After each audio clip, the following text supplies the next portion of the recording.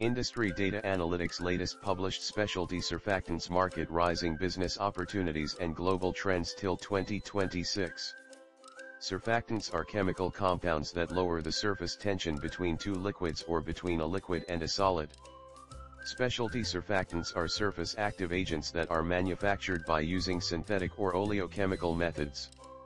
Surfactants that are derived synthetically are produced from petroleum-based byproducts including benzene and ethylene.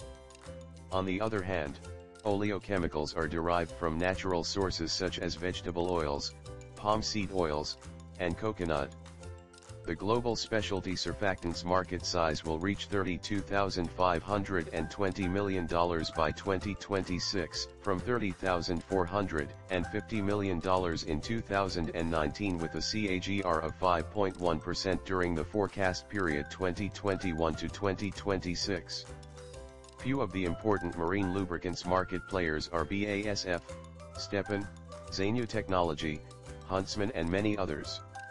Key highlights Pentel and BASF partner to launch erasers made with non-phthalate plasticizer under brand alliance in the Japanese and global market Pentel Co., Limited, Pentel, one of Japan's most traditional stationery product manufacturers, and BASF Japan Limited, BASF, today announced that Pentel completely switched to BASF's non-phthalate plasticizer, Hexamoll registered DINCH BASF and Svolt form partnership to advance battery materials development and battery recycling solutions globally partnership.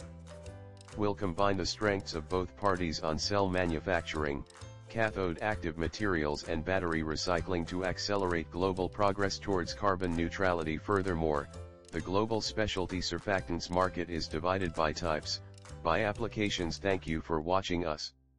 For more information visit us at industrydataanalytics.com.